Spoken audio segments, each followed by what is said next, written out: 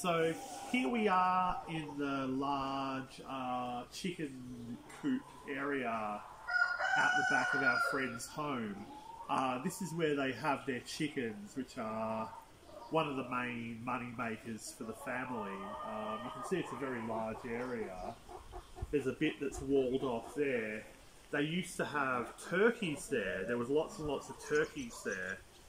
Um, some families in the village actually pull together money to buy a large amount of live turkeys.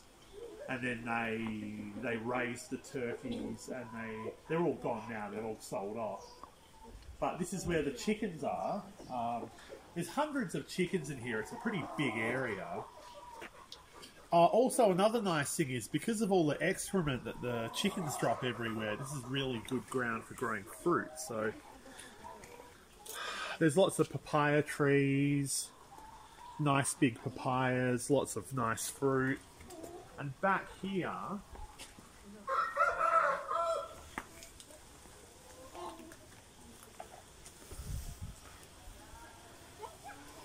back here they've also got banana trees. So these are not Cavendish bananas, which are the same thing as the bananas in, I don't know, 95% of supermarkets nowadays. These are native bananas, Dai bananas. They're indigenous to this area.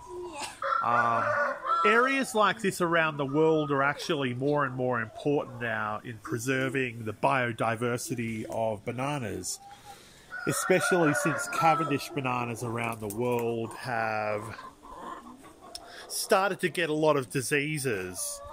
And if there's no biodiversity, one plague or something could just wipe out the entire world supply of bananas. So, uh, native banana types like this are more and more important these days. And here's one of the chicken coops. You can see that the chickens are mainly free ranging. They can't escape, there's walls, but it's a really big area and they just kind of roam around living their best chicken lives.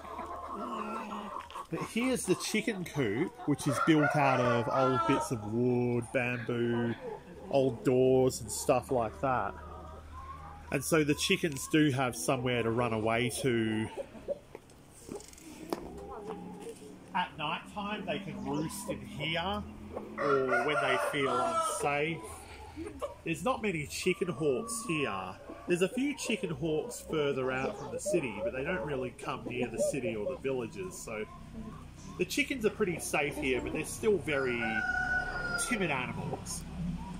Well, anyway, uh, that's just a little bit uh, from our friend's house here in Mangyan village in Dehong, uh, which is right in the southwest corner of Yunnan on the border with Myanmar. So I hope you've enjoyed this short video and have a nice day.